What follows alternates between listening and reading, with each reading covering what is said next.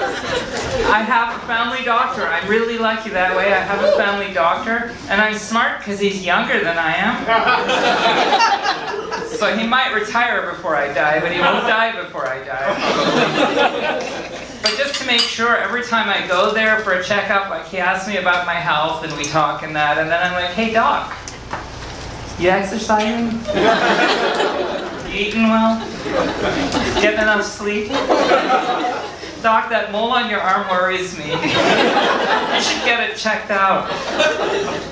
It's cool though, when he gets reimbursed by OHIP, he splits it with me 50 50.